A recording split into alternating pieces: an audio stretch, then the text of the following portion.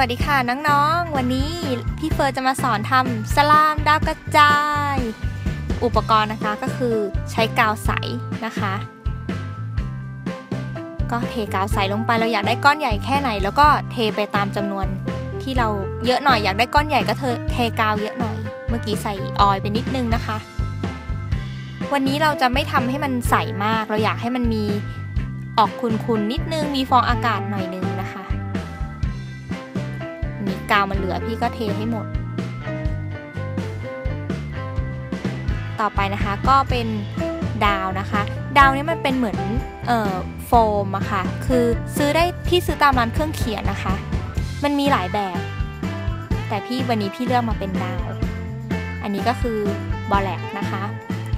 บอลแลกเนี่ยตอนทำก็ค่อยๆใส่ลงไปนะคะ เพราะว่าถ้าใส่ไปทีเดียวเนี่ยแล้วเดี๋ยวมันแข็งไปแล้วมันแก้ไม่ได้นะคะ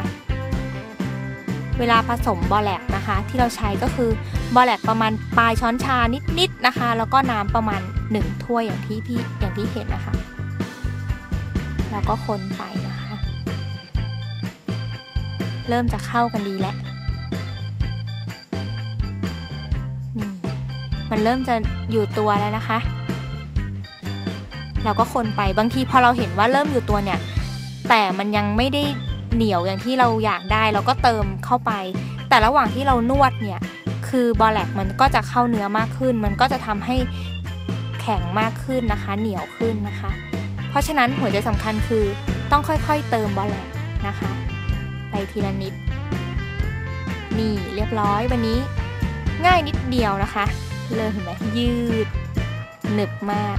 แล้วก็ในนั้นมีดาว น่ารักน่ารักเต็มไปหมดเลยนะคะ เสร็จแล้วค่ะวันนี้น้องๆ ถ้าชอบนะคะ อย่าลืมกดติดตามนะคะ Subscribe กดแชร์ กดไลค์นะคะ มีสลามน่ารักน่ารักอย่าเก็บเอาไว้คนเดียวนะคะ บ๊ายบายวันนี้